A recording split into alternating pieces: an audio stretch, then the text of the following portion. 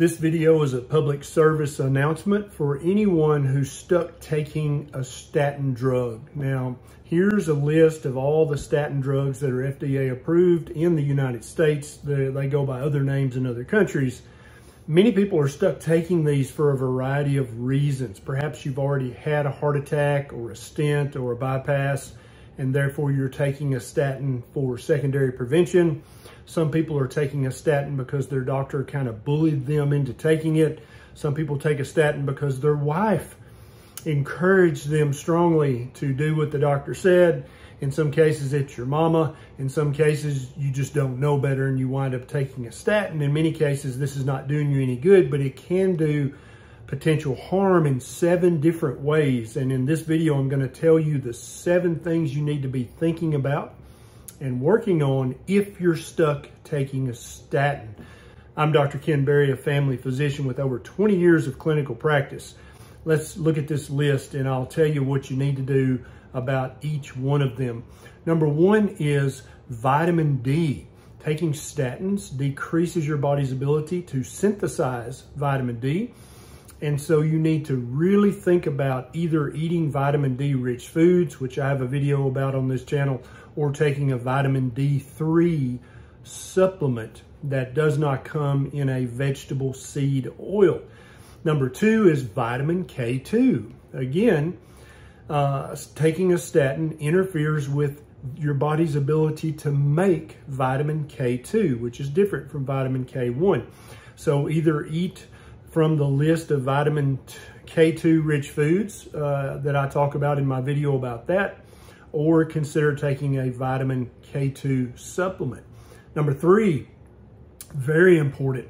It's been shown without any doubt that taking a statin causes your levels of coenzyme Q10 to plummet.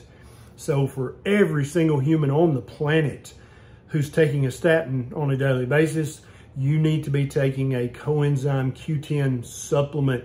I encourage every doctor and healthcare provider to go through your list of patients taking a statin and call them and say, hey, why don't you take 200 milligrams of coenzyme Q10 a day because the statin that you're taking to try and prevent a heart attack is preventing your body from having the, the correct level of CoQ10 in your bloodstream.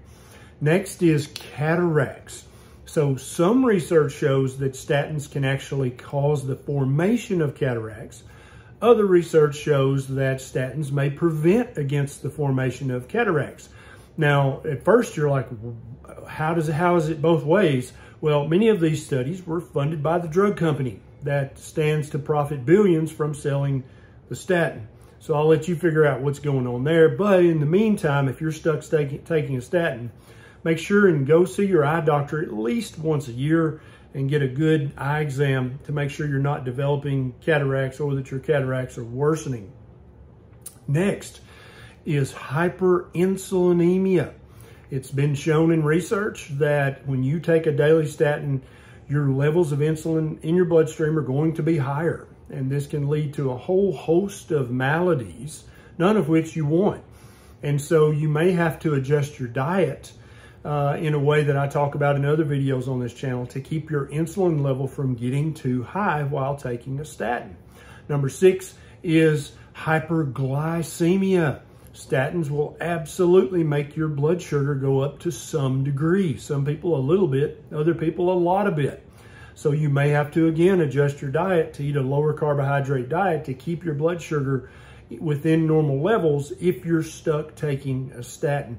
And then number seven, testosterone. If you're taking a daily statin, whether you're a man or a woman, it is going to lower your level of total testosterone in your bloodstream.